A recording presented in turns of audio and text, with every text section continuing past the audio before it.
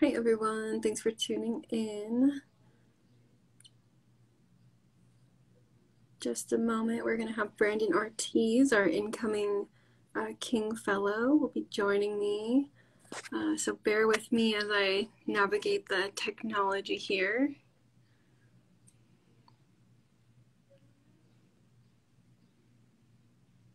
Oh, here we go. Uh, so for those of you who don't know me, I'm Felicia Garcia. I'm the Curator of Education at SAR's Indian Arts Research Center.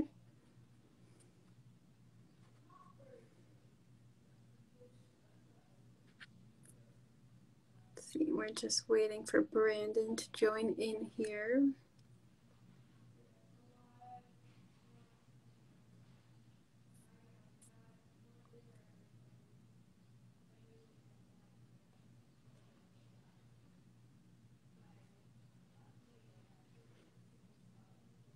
Uh, we have another. Oh, there's Brandon. Hello. Hey there, everybody. Sorry, my phone was having some trouble connecting. Oh, that's okay. I feel like always some delay here, but um, welcome. Thanks everyone who's watching for joining. I'm sure we'll get some more folks tuning in in just a moment. Um, so yeah, I'm here with Brandon Ortiz. He's going to be our King Fellow this fall. We're really looking forward to having him on campus. Likewise. So I'll just to start, I'll just turn it over to you and give you a chance to introduce yourself to our viewers. Sure. First time on Instagram Live. Feels exciting.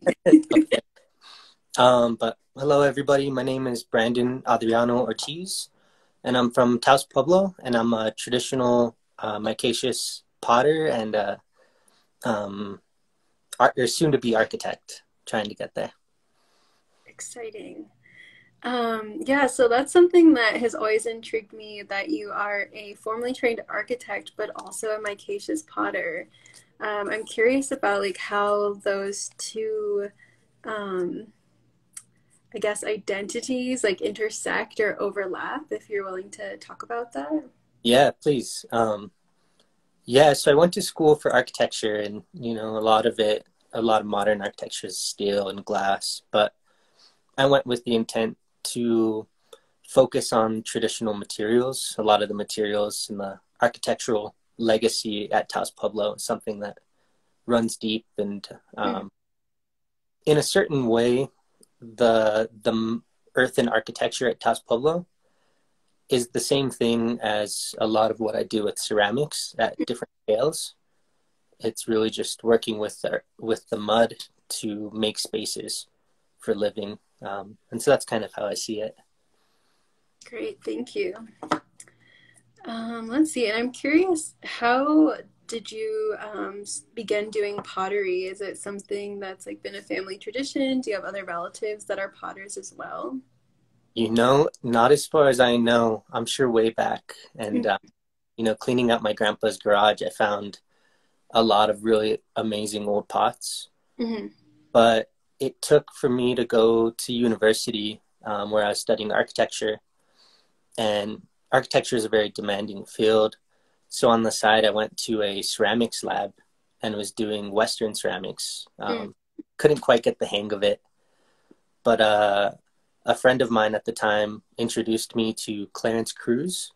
Okay. Um, an Ohkay Owingeh Potter who mm-hmm. um, was gracious enough to invite me into his class and taught me a lot of the ways of how to make your own clays and how to work with that clay. That's great. Yeah, we've done a lot of work with Clarence. He'll bring um, some of his classes up to SAR to visit the collection, which is really nice because we have a small Ohkay Owingeh collection. But um, yeah, it's just nice to see all of the pottery. Um, Clarence is such an amazing guy too. He's really, I, I see him as a good friend. And, um, yeah, he's a gift. To um, yeah, so we're looking forward to like as we're starting to open up a little bit more. We're doing our community visits, but we're looking forward to wel- welcoming people to come back into the collection. Um, so we hope you can come visit soon. Um, I'm hoping to. Great. Um, let's see. And I'm curious about what you have in your background here. Would you be willing to share a little bit about like any works in progress or like what the process is like? Yeah, please. Um, so usually what I make ends up going out pretty quick. Um, but my dad loves it. All the pots that don't make it through the firing process um, kind of get distributed to the family. And so mm-hmm. these are a lot of the pots that have um, haven't quite made it outside of the property. I'm just kind of let's see. So this is one I had made for Indian market about a year ago. Oh, that's beautiful. And I was so happy with it. And this is a lesson that Clarence Cruz taught me. Um, you never really give too much love to your pots before they're fired. Mm-hmm. He said kind of makes their head swell. They get um, a little too excited and they blow up in the fire. Right. Yeah, yeah. I, Lonnie Vigil said something similar to me when I was uh, doing an interview with him that makes sense. yeah, um, a lot of potters too, and Clarence, he would come up to you and be like, "That's a really ugly pot." Mm-hmm. they can, you know, counteract that. Um, and so this was a big one I was really loving, but I think I gave a little too much love, mm. and it kind of blew right here. I don't know if you can see that. Still so beautiful. I love all of the um, like smoke clouds on it. Oh, that's something that I really try to encourage in the pots. Mm-hmm. That sort of connection, and I feel like it's kind of a record of each fire. Mm-hmm. You kind of get a story of what the conditions were, whether it's windy or how hot the fire was. Um, let me see. So I have a collection. I mean, through the years, really, but just more in little bean pots, little cooking vessels. Um, I bought bean pot. Storage pots. It's truly like the best beans I've ever had. it really does something, huh? amazing. Such a good investment. Oh my god, and it's beautiful. Like I just have it out on my counter all the time, so I can uh, stare at it. It's a really beautiful pot. And they're so durable. It's really amazing. I a lot of times I'll make pots and encourage people to cook in them and use them as they would. Mm-hmm. The cast iron, and a lot of people were afraid I know I bought the pot because I thought it was beautiful, and the artist I bought it from was like, "So are you going to use it for cooking?" And I wasn't sure if like that's what he intended them for, or if they're meant to be just like on display. And he was like, "No, I definitely encourage people to cook with my pots." And I was so nervous the first time, but it, yeah, it's so durable, and it just gets like more beautiful over time, like being in contact with the fire. Yeah, you really build that relationship. Huh? It kind of like deepens in color a lot.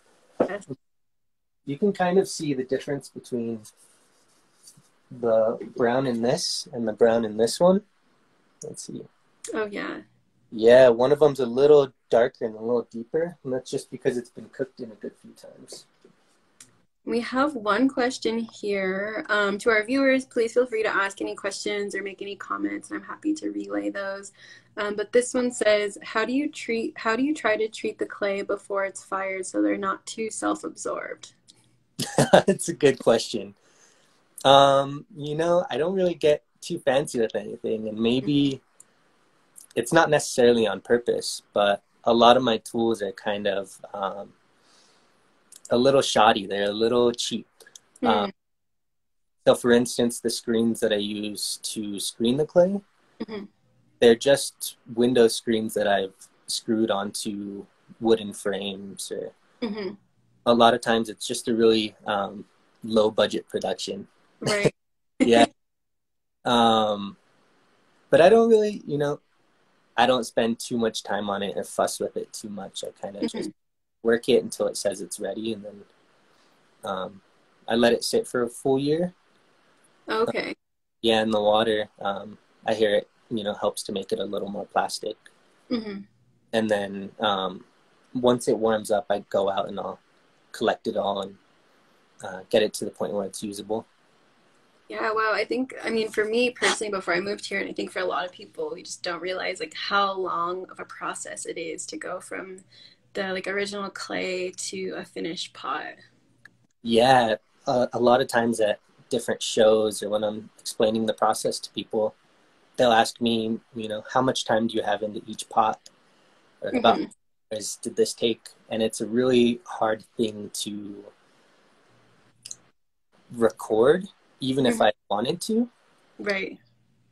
Um, just because there's hours spent gathering, hours spent preparing the clay, and Right. um, everything before even making pots. Yeah, exactly. There's so much to the process before you even start building. That makes sense.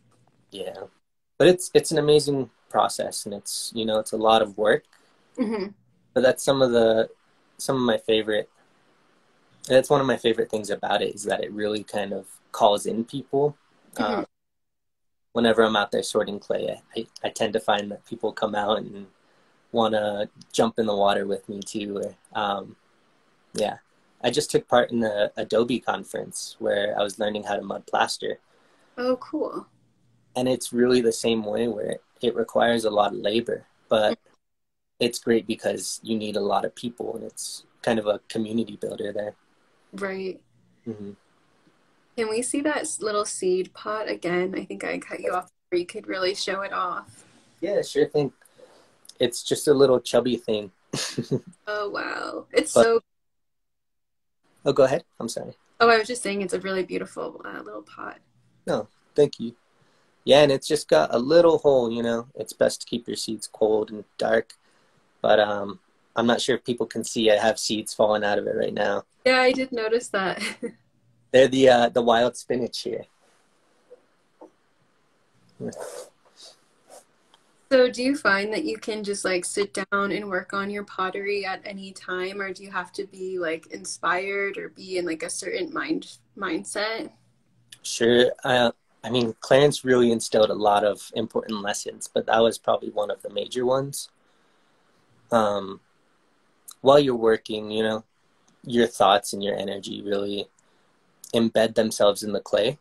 hmm Um, and so if you're in a bad mood, you can kind of see that in the end result, in the end pot. Um, a lot of times during the firing, you'll see explosions and not really know why. hmm So yeah, I only try to, you know, work with the clay when I'm in a good space. hmm Um, yeah, and that goes for the whole process, really. Okay. Um, shoot, at another important point that I'm forgetting right now. Maybe it'll come back to you. Yeah. Um, do you ever recycle any of the clay from the pieces that don't make it through the firing into like new pots? Yeah, all the time. Um, I actually just had a few catastrophes. Um, I've been making these spoons lately, Mm-hmm. these little dippers. Um, and this one's treated with a few things with some uh, pinon sap to kind of more waterproof. Mhm.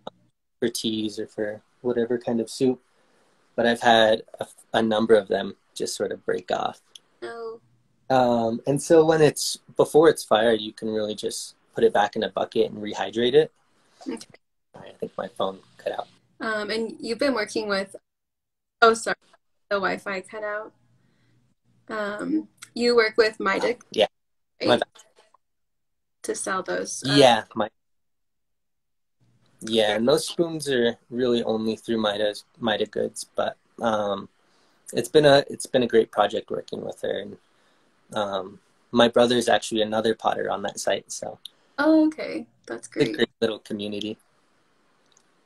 Um, but yeah, any kind of pot that doesn't quite work out before the firing, um, just gets broken up and rehydrated, and then it's pretty easy to take it back to usable clay. Okay. Um, but once a pot is fired, I have somewhere here. I have some chunks of pots that, or other spoons that have been fired, that have broken after the fact. Oh, uh-huh.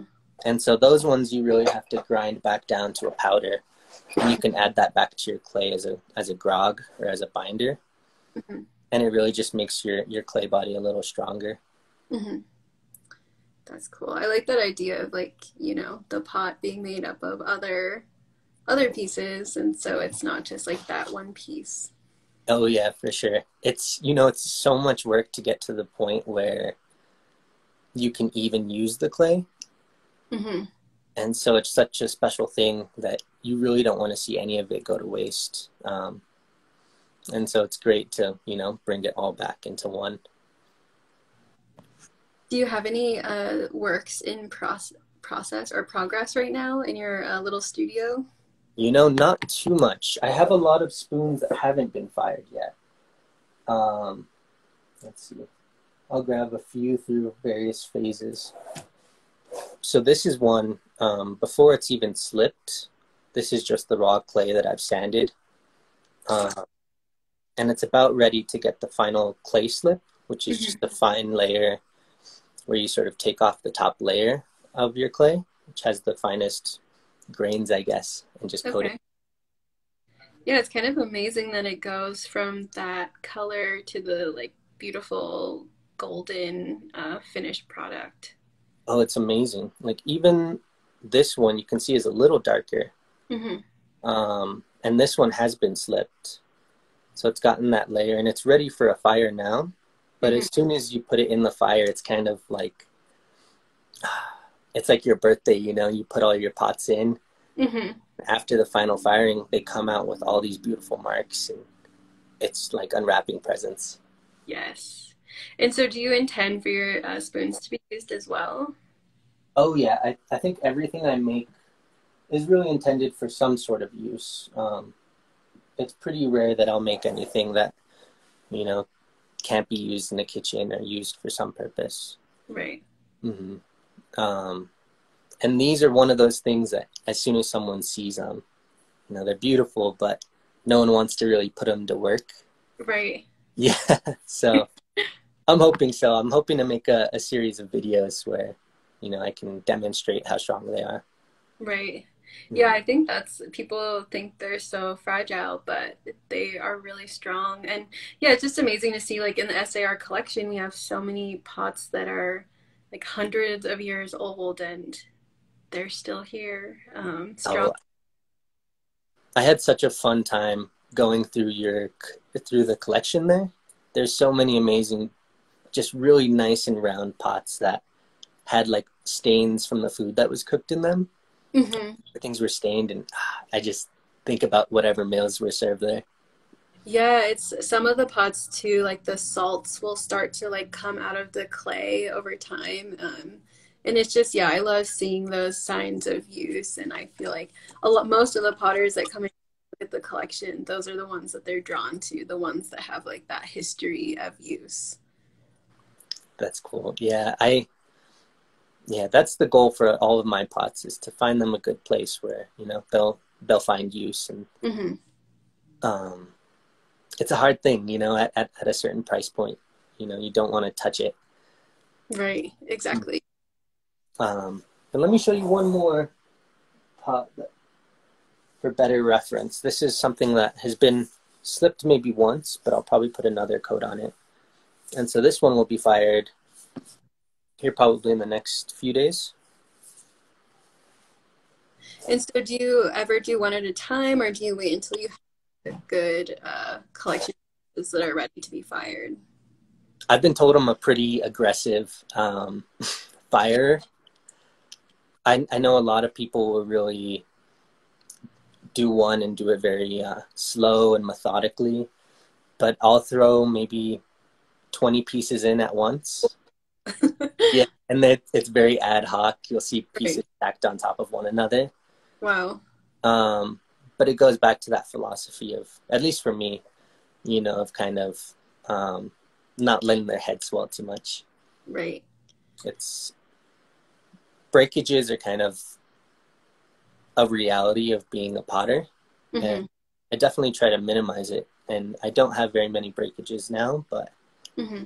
it's not something that I try to, you know, avoid at all costs. Right.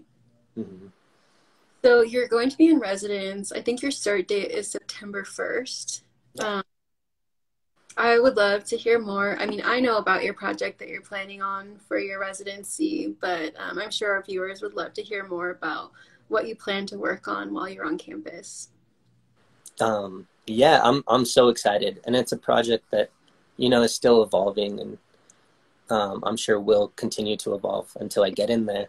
Um, but originally, you know, I had learned how to make micaceous pots, and I had always seen these pots um, around town or online or in person, you know, and they were these beautiful golden, shining pots um, in museums and whatnot. And I never really realized that, you know, these pots could have such vibrant and, you know, yeah, such a wide range of finishes and decorations until I went into the SAR um, collections. I had always heard that they were, you know, micaceous pots were undecorated and were all about the shape and were a lot of times left gold. And so when I went there, it kind of opened my eyes. Um, I saw pots with, you know, the, the um, twisted necklace, mm-hmm. or with a bunch of other decorations and um, a bunch of other finishes. And so the project I'm hoping to complete will really just be an exploration of different finishes and different firing techniques that I can do working with micaceous pottery. Mm-hmm. Um, I know, like, one of the ones I'm most excited about, and um, we'll see how it goes. I'm sure it'll be a big learning process. Is screen printing on top of uh, a micaceous pot. Mm. And so the idea will be to um, slip and buff a micaceous pot um, to the point, you know, where it's got a, a little sheen mm-hmm. and screen printing something on top of that okay. with just the raw micaceous clay mm-hmm. and creating a, a two tone effect. Um, and so I think a bunch of alternative finishing techniques is really going to be the base of it. Yeah, that's really exciting. The screen printing idea is something I've like never seen or heard of before, so I'm excited to see how that turns out. Yeah, me too. Um, and so to prepare for that, I've been, you know, going around town and or going around this area and really trying to find a few of the different types of micaceous clay. Mm-hmm. You know, mica mica is just the mineral which um, works its way into different clay bodies. And so you have, you know, the vibrant orange red, and you also have grays, and you have a whole variety of what micaceous clay can be. Mm-hmm. Um, and so working within that will be great. And so, one thing I'm really excited about is that you plan to do some firings on campus um, which we're really looking forward to and will require some work with the local fire department. Um, but how many firings do you think you'll do during your residency? You know, I'm trying to be ambitious and say about one every week. Okay. Which would be 12 total. Um, which is quite a bit. Yeah. I might have to cut it down from that. I say start big and then, you know, we can always be flexible. So that's really exciting. Um, yeah, you know, I've never had this much time or the space or the freedom to work um, with with the clay in this way. You know, it's always been as a as a side thing to my architectural education or to my mm-hmm. architectural um, profession, and so um, to dedicate that time will really be amazing. And I'm you know, I'm not sure how much I can make in that time. And so, yeah.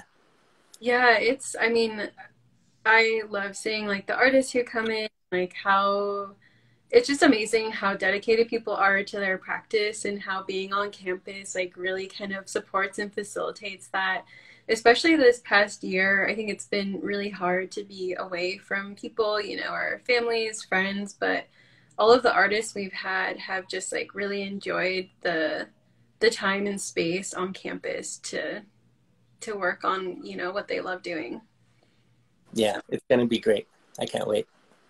Let's see. Okay so we have another question. What do you feel this project that might what do you feel this project might say or do for the medium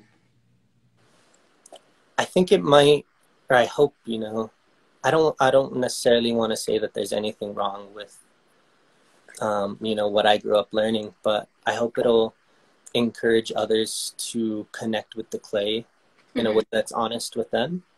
Mm-hmm. Um, you know, to really explore all of the potentials that are out there with, you know, just this material. Um, because I know there's you know there's people in in my pueblo and other pueblos who are doing similar things or taking unconventional routes while navigating, you know, or working with the clay. Right. Yeah, I'm really looking forward to see like what you create and how um like visiting with the collection kind of um inspires you or um changes your project. Me too. There's there's so many beautiful things past even, you know, utilitarian objects. Um I haven't really made many things other than you know bean pots and spoons. Mm-hmm. Um, but um, Diego, who works with you guys regularly, let's see, um, asked me to make him some little baby turtles a while back. That is so cute. And so these are one of the few things that I've made um, outside of that. But I'm hoping that I'll I'll have a chance to explore things like that even. We well, it's funny that you um, brought that little turtle out because last month uh, Diego worked with our coworker Stephanie Riley to do a little uh, turtle making tutorial here on our Instagram live, and it was great. I wasn't sure like how well the tutorial was going to translate to Instagram live, but um, I think it was really awesome, and we received some pictures of people's turtles after the event, and it was just really to see like everyone's different interpretations of a turtle. It was really amazing. I was actually shocked with how Diego's turtle came out. it was, he was like being really like modest about it the whole time, and then when he finally showed the turtle, it was incredible. Um, beautiful. um, so that that's funny because when um, I invited you to participate in the Vilchuk project. That was one of the first things Diego told me about you was that he had asked you to make him a baby turtle. All connects. That's... Yeah, exactly. It's full circle now. Let's see. So I'm going to be really mindful of your time, but I have a few more questions. And so um, for our viewers, just a reminder, please put any comments or questions in the chat and I will be sure to share those. Um, ooh, we have another question. How do you feel the difference in scale between architecture and pottery translates into the effects they have on our bodies? Hmm. Such good questions here. That is a great question. Um, and it's something that I think a lot about. Um, and it's hard to say that there really is any difference in my mind. You know, they're objects that we move around and within. Um, and so in the same way you inhabit a house and you kind of can step inside and feel the cool air and you know get that smell of the earth um, or even of the fire i i get the same sensation when i'm you know experiencing a pot mm-hmm. Cooling out from the fire you know um, i think hmm, they're really just places to inhabit inhabit right and so, I don't know, there's so many amazing things that connect the 2 mm-hmm. Um, yeah. I even, some of the pots that I have that don't make it out of the firing, I'll use as, you know, planters and I'll put plants in them and they hang out inside of the house. Um, mm-hmm. And so I think at every level they kind of are just places to occupy, or not occupy, it's a bad word, but you know, places to inhabit and mm-hmm. connect yeah. with. That makes sense, definitely. Um, let's see. So, are you currently based in Santa Fe? Or are you based in Albuquerque, Taos? So, Santa Fe is actually kind of the perfect middle point um, for me between Taos and Albuquerque. Mm-hmm. Um, I grew up in Taos at the Pueblo, and went to university at Albuquerque, and so Santa Fe is right in the middle of those two, um, and it mm-hmm. should be a good connecting point, you know. Yeah. Um, so, mm-hmm. what are you most looking forward to about either the residency or being in Santa Fe? I think I've never really had the experience of having a space that was fully dedicated to mm-hmm. play um, or to the practice. And so, like right now, um, I'm in one corner of my bedroom at my childhood home in Taos. So um, it's pretty rare that I'm able to find that space and that time. Right. And so that'll be something that will be amazing because I've never had the opportunity to, you know, exhaust myself completely in mm-hmm. play. Um, but also that the collections at SAR are really something that I'm hoping to spend a good amount of my time in. Yeah, definitely. That's one. I know it's my favorite thing, and it's like many of our staff really enjoy being able to like you know offer the time and space to, in the collections because it's you know really. I mean, all of the pieces we have are incredible, and we are happy to be a resource potters and local community members. So we're excited that you get to be on campus and interact with the pottery. Yeah, I can't wait to go back and yeah, explore. And then I have well, I have two more questions for you. So um, you mentioned Indian Market and then also Mida Goods. Are those the best places to, um, I guess, see any inventory that you might have, or you know, learn about anything you're working on? Sorry, I think my phone cut out again. But um, you know, I'm I'm really trying to get back on social media. Mm-hmm. Um, so I have an Instagram handle, uh, which you can probably find. Yes, and right we'll on the video when we save it. Okay, great. And I have a website um, along the same name. Okay. Uh, and but for the most uh, up to date, probably Mida Goods right now. Mm-hmm. Okay, great. Um, and will you be participating in uh, Indian Market this year? You know, I I don't think I will be. Um, the first year that I par- participated in Indian Market, I came away with the first place ribbon. Oh wow, that's amazing! Yeah, thank you. Um, I was really excited, and then I applied for the the following year and didn't get in. So. Um, it's kind of been a whirlwind, but hopefully yeah. in another year. But I'm exploring, you know, other places to have the work be present, um, other than just markets and galleries and shows.